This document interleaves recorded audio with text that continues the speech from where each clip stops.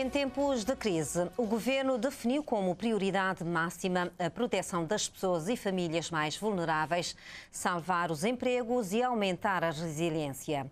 Este foi o mote do discurso da abertura do ministro da Família, Inclusão e Desenvolvimento Social no pontapé de saída do debate sobre a situação social solicitada pelo grupo parlamentar do PAICV. Elísio Freire enumerou várias ações empreendidas pelo executivo para fazer face às dificuldades provocadas por crises triplas, seca, pandemia e inflacionária devido à guerra na Ucrânia. Ponto prévio. O governo reconhece o momento difícil em termos sociais que o país atravessa, fruto de uma infeliz conjugação de crises externas e interna. Por isso, medidas emergenciais e reformas estruturais são duas apostas do Executivo para atenuar os impactos negativos da crise sobre o tecido económico e social do país. Isto, conforme as palavras do ministro Elísio Freire, na abertura do debate sobre a situação social em Cabo Verde nesta manhã no Parlamento. Perante este cenário de crise, o governo definiu como prioridade máxima a proteção das, das pessoas e famílias mais vulneráveis salvar os empregos e aumentar a resiliência.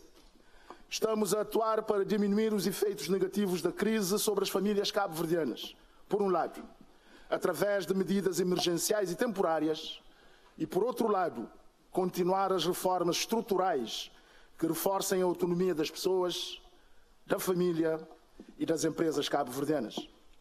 Para o governo, mesmo em tempos de crise, o coração da política social é o emprego, complementado pela educação, pela saúde, pela habitação, pelos cuidados, pela previdência e assistência social.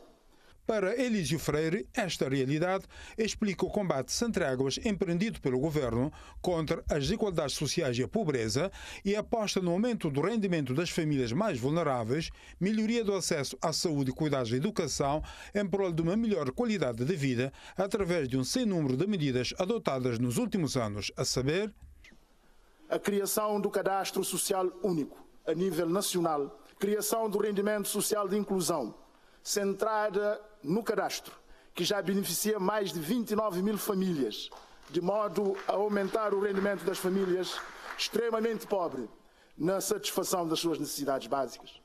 Aumento da pensão social mínima de 5 para 6 mil escudos e aumento do número de beneficiários para 22.672 oito pensionistas. Aumento da população coberta pela proteção social contributiva e não contributiva de 43,6% para 51,5% da população.